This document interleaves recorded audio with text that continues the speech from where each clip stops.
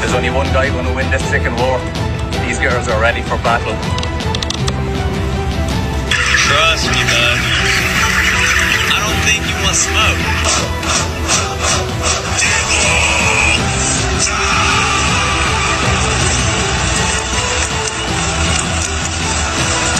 For all the threats that are happening, Kevin's ready to rumble. All right, we got the Legion out here. They're getting all fed up, ready for battle. I had uh, someone ask me yesterday. They said, "Are your chickens free range?" I said, "Hell yeah, they're free range. They got free range to waddle up and kick some ass."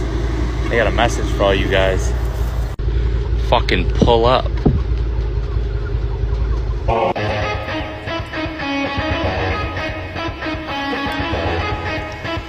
Old boy said fuck around and find out.